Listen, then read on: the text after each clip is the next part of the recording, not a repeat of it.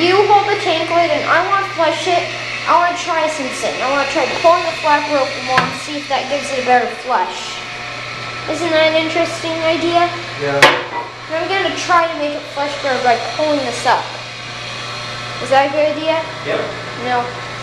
It seems to not open far.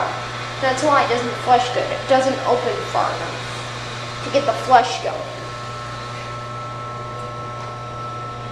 Alright. Apparently,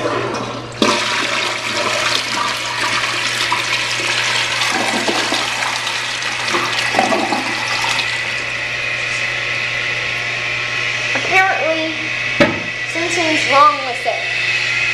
It doesn't, oh, flapper doesn't open far enough.